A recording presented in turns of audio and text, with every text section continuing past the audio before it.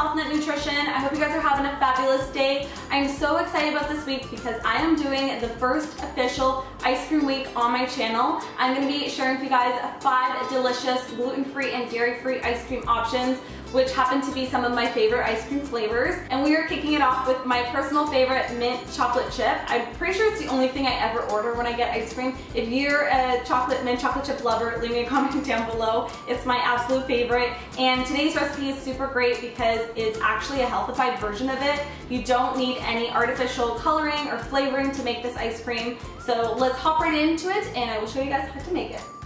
For this recipe, you're going to need coconut milk and soy milk, soaked cashews, honey or any sweetener of choice, coconut oil, chocolate chips, sea salt, fresh mint, some ripe avocado, arrowroot flour, and vanilla.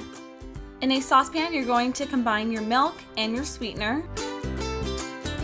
Whisk that together and then bring that over to the stove and bring it up to a boil. And then once it's brought up to a boil, you can go ahead and scoop some out into a side bowl and you're gonna just mix in your arrowroot flour to dissolve it separately so you don't end up with any lumps. And the arrowroot flour just really helps as a thickener in this since we're not using any eggs or anything. It's gonna make it super creamy and freeze well when it's in the freezer. You're going to add that mixture back into the pot, give it a whisk, and bring it back over to the stove top on low to medium heat. And you want to bring it to a simmer and simmer it for about five minutes so everything dissolves and thickens. Once everything is thickened, you want to transfer it into a glass bowl so it can cool completely and just set it aside for about 40 minutes or so just until it cools completely. In a high-speed blender, I'm using my Vitamix here. I have a link for it down below, but I'm adding in all my ingredients so we can blend everything up and get it nice and smooth. As always, the full measurements and recipe will be on my blog, healthnutnutrition.ca.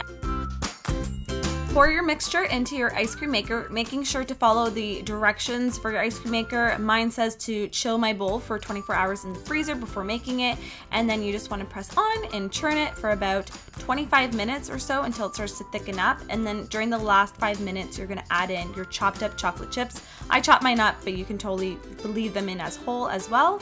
And then once it's ready, this is what you'll have. It's almost like a soft serve, so if you want it a bit harder, you can just scrape it into an ice cream bowl or container and pop it in the freezer for about four hours just to harden. I'm using this uh, awesome Tupperware container I got, I think at HomeSense. I'll try to find a similar one down below and link it. I'm just gonna scoop out my ice cream into it to save it for later. I find this Tupperware really helps keep it fresh in the freezer without any like crystallization or freezer burn taste.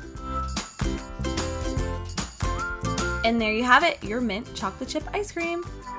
Or you can just scoop some into an ice cream bowl and enjoy it right away. I hope you guys enjoy this ice cream. It's the perfect one for summer and get ready for four more awesome flavors. I know you guys are gonna love it, but this is probably one of my favorites because I'm just a die-hard fan of mint chocolate chip.